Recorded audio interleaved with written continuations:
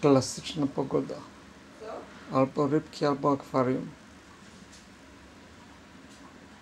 Bez względu na ilość światła.